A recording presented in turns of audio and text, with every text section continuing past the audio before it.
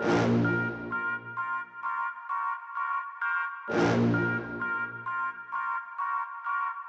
ang katotohanan tungkol sa Fermi Paradox. Ah, actually mga kapatid, ngay- ngayon ko lang narinig yung Fermi Paradox na yun. No? So ito ay nakakamangha daw at bagong kaalaman na ating panonoorin mula rito sa channel ni Mr. Pantas mga kapatid ko nakikita ninyo sa gilid yan. Isa sa mga idol ko yan pagdating sa mga kaalaman, no? Mr. Pantas. So wag na natin patagalin to. Total wala na rin naman tayong hinihintay na. Panoorin na natin to. Nasaan na mga Kung igagaya natin ang ating solar system sa bilyong-bilyong ibang mga planeta sa universe, ay siguradong may mga naninirahan din sa mga ito. Mhm.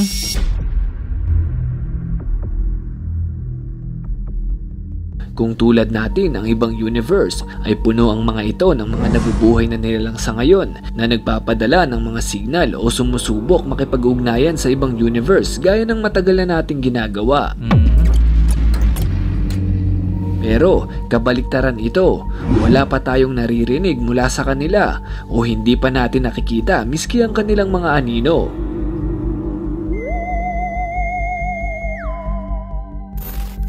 Bakit wala pa tayong matibay na ebidensya tungkol sa mga alien? Mhm. Ano ang tinatawag na Fermi Paradox? Bakit ito pinag-uusapan ng maraming tao? Katotohanan tungkol sa Fermi Paradox, yan ang ating aalamin. Yun. Madadagdagan na naman ang ating kaalaman. Ako ngayon ko lang narinig yung Fermi Paradox mga kapatid eh. At bakit nga no, wala pang mat- talagang matibay na ebidensya pagdating sa alien? Tatlo ang pangunahing dahilan ng mga siyentipiko kung bakit wala pa tayong na-encounter na buhay sa ibang universe kung Mhm. meron man. Mhm. Una, mas pinipili nilang manahimik para sa kanilang proteksyon. Mhm. Kung totoong may alien civilization ay malaki ang tsansa na mataas ang kalidad ng kanilang teknolohiya Mhm. at batid nilang mayroon ding nabubuhay sa ibang lugar. Mhm. Kaya naman mas pinipili nilang manahimik para umiwas sa mga posibleng manakop sa kanila. Mhm. Pwede.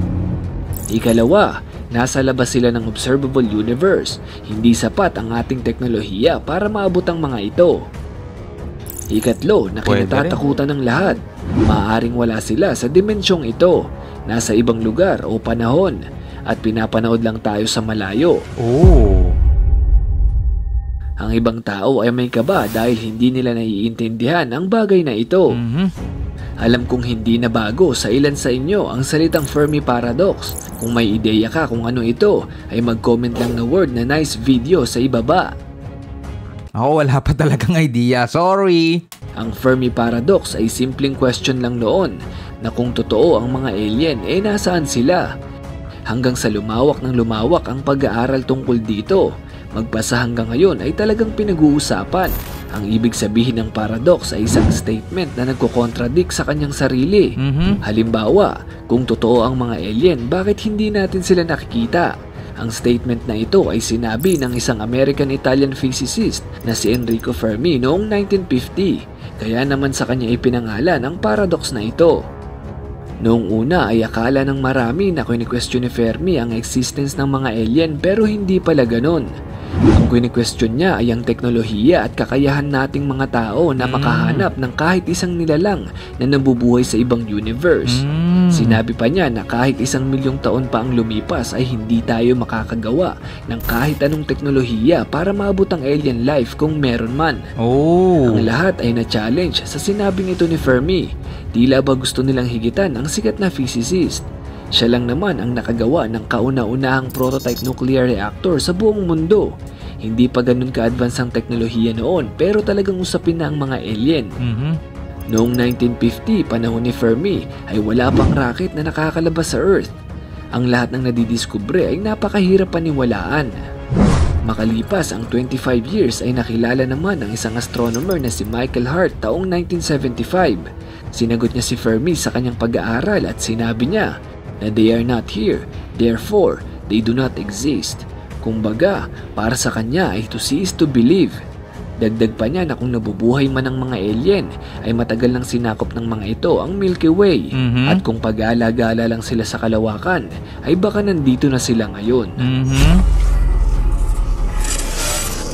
Pero isa rin kasing uh, fact mga kapatid kung bakit wala tayong matagpuan na alien life mga kapatid ay siguro no siguro oh, fact na rin naman talaga dahil nga sa distansya ng ating uh, mundo sa iba pang halimbawa uh, sa ibang star system, 'di ba? Ang lalakbay nun ay kailangan 50 light years, 100 light years, 'di ba?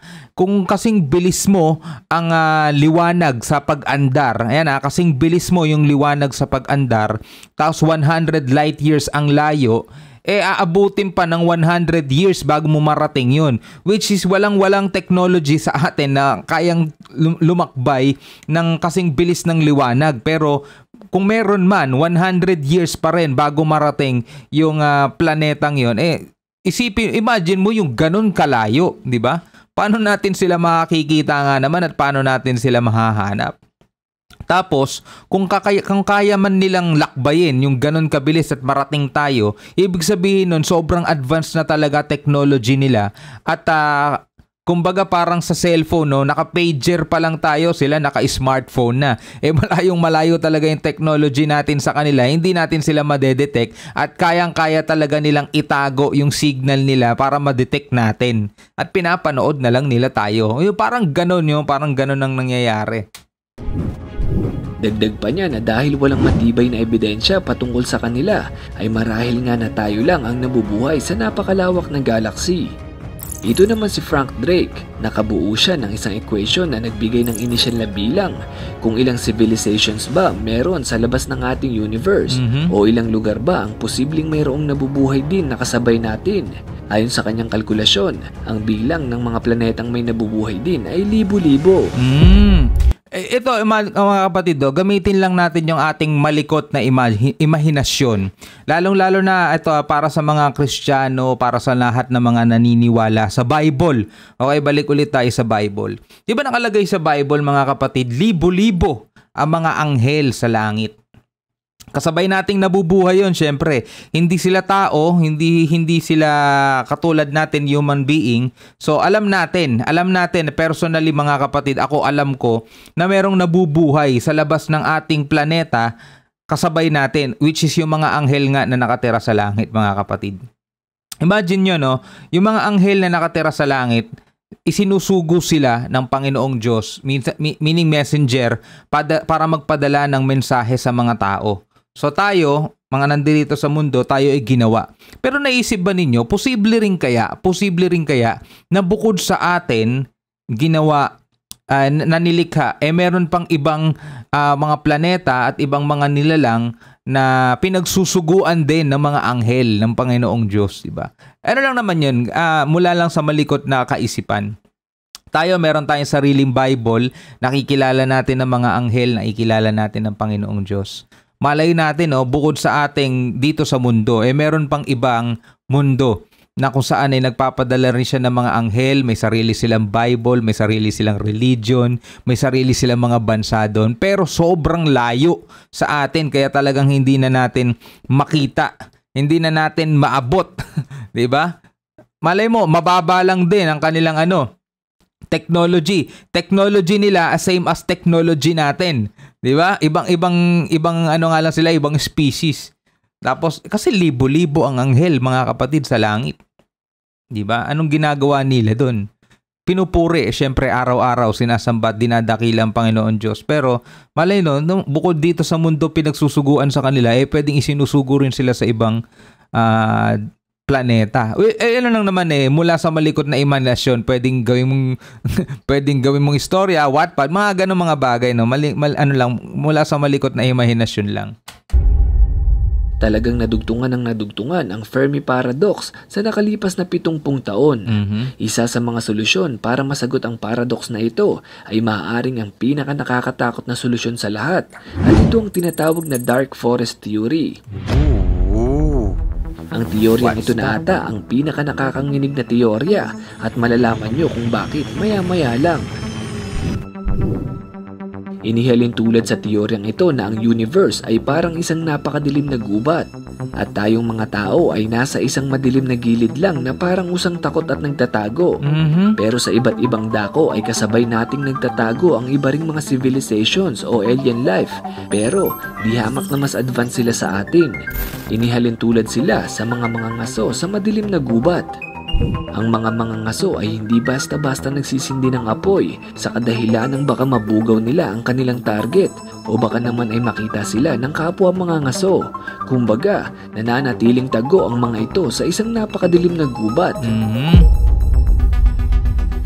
Sa ngayon ay wala pa tayong kakayahang makipag-communicate sa ibang nilalang sa kagubatang ito o sa ibang universe. Pero ang mga tao ay kung ano-anong mga equipment na ang ipinadala sa kalawakan para magpadala ng signal sa ibang planeta. At kabilang na nga rito ang mga advanced na laser na ipinapadala sa iba't ibang direksyon. Bukod pa rito ay hindi natin alam na matagal na tayong naglalabas ng mga signal sa kalawakan, gaya na lang ng radio signals, TV signals, worldwide internet, at mga probes na pinapadala sa iba't ibang planeta. Mhm. Nangangahulugan lang na matagal na tayong nagsindi ng apoy sa madilim na kagubatan. Ang sumunod na tanong ay, may nakakita na kaya sa atin? O baka naman matagal na tayong minamatyagan ng ibang mga nilalang sa madilim na kagubatan? Mhm. Talagang napaisip ako sa teoryang ito. Sinabing 50-50 ang tsansa kung may kasama ba tayo sa universe. Kung meron man ay talagang nakakakaba dahil hindi naman natin alam ang intensyon ng mga ito. Tila ba may nagmamatsyag sa malayo, pinag-aaralan tayo, inaalam kung gaano kagulo ang Earth pero minabuting hayaan na lang tayo. Kung may ibang nilalang man sa labas ng kalawakan ay dalawa lang yan. Wasakin ang ating planeta o gabayan tayo sa mas mabuti at magaang buhay. Magkakaroon ng kapayapaan ng lahat at hindi na magtatanong kung nag-iisa ba tayo sa kalawakan.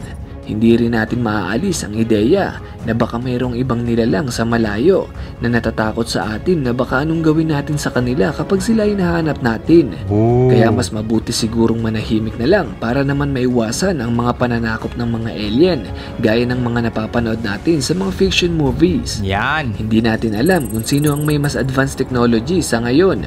Pero kung sino ang makagawang makalipat at makapunta sa ibang civilization, ay siguradong siya ang pinaka-advance kapag pinag-usapan ng teknolohiya. Ganito ang pagpapaliwanag ng Dark Forest Theory na posibleng may ibang nilalang ang naninirahan sa kasuluk-sulukan ng madilim na kalawakan pero mas pinili nilang manahimik dahil sa takot na baka sila ay masakop. Kung ganun man ay talagang lugi na tayo dahil kahit kailan ay hindi natin sinubukan maging tahimik. Kung may naglilista man ng noises sa kalawakan ay siguradong una ang Earth. Sobra tayong ingay, no? Pakawala tayo na pakawala ng mga signal pa nga. Yun nga lang, di natin alam kung yung pinapakawala nating signal, eh, nare-reach ba sila? Dahil nga hindi naman talaga ganun pa ka-advance ang ating technology. Wala pa nga daw tayo sa type 1 civilization, eh, di ba? Marahil may ibang mga nilalang ang nandyan lang sa malayo na alam na nandito tayo. Pero ang dahilan kung bakit wala pa tayong ideya na nandyan sila ay dahil hindi nila sinusubukang magpadala sa atin ng mga signals na matagal na nating ginagawa. Mhm. Sa ngayon ay talagang ayaw maniwala ng mga scientist na talagang nag-iisa lang tayo sa universe dahil ayon sa kanilang datos ay hindi bababa sa 40 billion planets ang kaparehas natin at may tsansang mas marami pa sa labas ng observable universe. Mhm. Dapat nating aminin na hindi pa talaga ganun ang nalalaman natin tungkol sa pinagmulan ng buhay. Ang pinagmulan nga ng universe eh, ng isang pagsabog na tinatawag na Big Bang ay na-debunk na. Mhm. So saan pa ba tayo maniniwala? Isa lang ang sagot dyan, mayroon talagang lumikha. Yes. Alam ng mga scientist na may buhay bukod sa atin at wala ito sa ating dimensyon. Ang alien life ay hindi talaga literal na alien. Sila ay nasa dimensyon ng may likha at hindi natin kailanman maaabot ang kanilang kinaroroonan. Yon yung lagi kong sinasabi. Meron talagang ibang nilikha bukod sa atin pero hindi natin sila kayang maabot. Hindi natin sila ma-reach talaga kasi nandoon sila sa tinatawag na langit.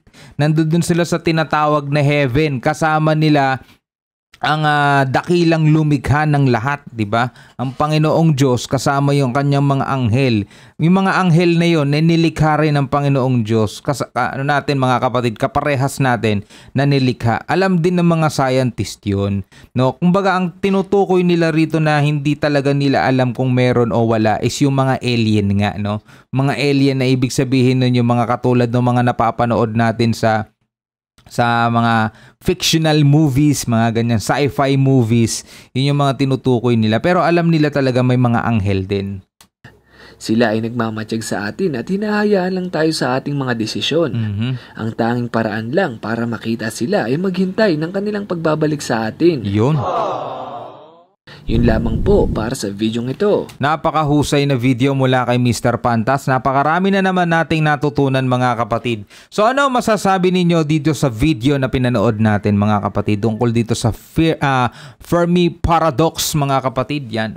Sa tingin ba ninyo bukod talaga sa ating mga uh, nilalang na tao, eh meron ding ibang nilalang mula sa ibang mundo. Kasi ang mga scientists, di ba, naniniwala sila doon sa ano, yung natural selection doon sa doon sa unti-unting pagkabuo ng buhay, 'di ba? Ganun naniniwala 'yung ibang mga scientists. So kung nangyari 'yon dito sa ating mundo, eh posibleng mangyari din sa ibang mundo. 'Yun nga lang sinadya talaga ng Panginoong Diyos na gumawa ng sobrang laking universe na kung saan ang mga planeta ay magkakalayo. 'Di ba? Kung saan ang mga planeta o mga star system na kung saan na may umi- umiikot na mga planeta din ay ang pinakamalapit sa atin ay sobrang layo pa rin. Na talagang hindi natin maaabot at hindi natin mapupuntahan. Lalong-lalo na wala pa tayo sa type 1 civilization, eh wala tayong sasakyan na kasing bilis ng liwanag. At kung meron man tayong sasakyan na kasing bilis ng liwanag, hindi rin natin sila mararating ng ilang araw. Mararating natin sila ng daang taon. Katulad na halimbawa, malayo sa atin 49 light years away. Meron man tayong sasakyan na kasing bilis ng liwanag, mararating natin yun 49 years pa. O kaya kung 100, 100 light years, edi 100 years pa. Sobrang layo talaga. As in. Doon pa lang sa sasakyan na kasing bilis ng liwanag eh. Napakahirap ng imaginein. Alright mga kapatid, hanggang sa muli, kung trip mo yung mga ganitong klaseng reaction video, wag na wag mong kakalimutan na mag-subscribe. Click mo na rin ang notification bell. Ako nga po pala si Shobal D. Peace out.